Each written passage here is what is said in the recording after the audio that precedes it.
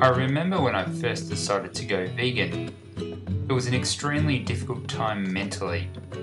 Adjusting to the change and dealing with the grief of both knowing the truth and also grieving to the life I used to lead. I was full of rage and trying to discuss why I was vegan was extremely difficult. It always led to confrontation and aggression because I didn't know how to effectively get my message across. I'm assuming you may have gone through something similar or you're still struggling to talk about veganism effectively. If you're looking for a few tips on how to start talking about veganism with the outcome of positive change, you've come to the right place. Now, there are two major points I want to talk about in this video. Number one, the communication process, and number two, the barriers to effective communication.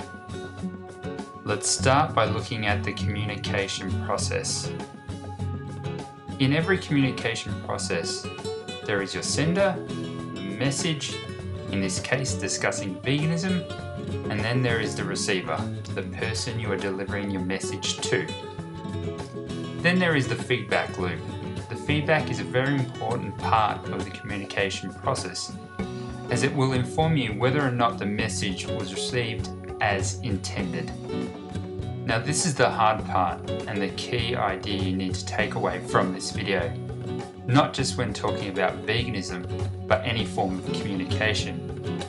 That idea is, communication is not about the intent, it is about the outcome, or the result of the communication.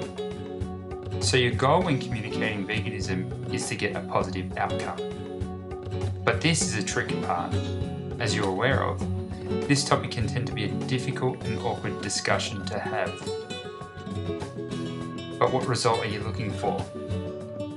The minimum you should be aiming for is that the person you are trying to communicate with at least begins to think about veganism, rather than what is this person talking about? To understand how you send this message effectively, you also need to be aware of the main barriers to effective communication. These barriers are 1. The perceptual cultural, 2. Emotional, 3. Environmental, 4. Your own listening skills. Now, number 1 Perceptual cultural barriers. This one is identifying the fact that eating meat and their byproducts is an ingrained belief, one which is taught from birth and accepted by the majority of people. So, delivering to someone who doesn't understand and truly goes against their belief can cause friction. Now, this is the hard part.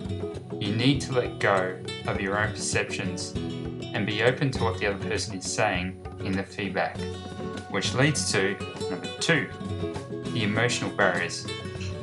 When emotions are high, it will definitely reduce the chances of communicating effectively. As mentioned in the previous point, being open to what the other person is saying is important, and getting angry or aggressive reduces the likeliness of the person understanding the message.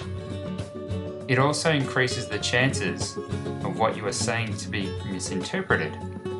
Your emotional state can lead to a reactive nature rather than a proactive one. It may be hard at the start to deal with people's defense mechanisms, but maintaining your composure is extremely important. Number three, environmental barriers. Be aware where you are when communicating this information.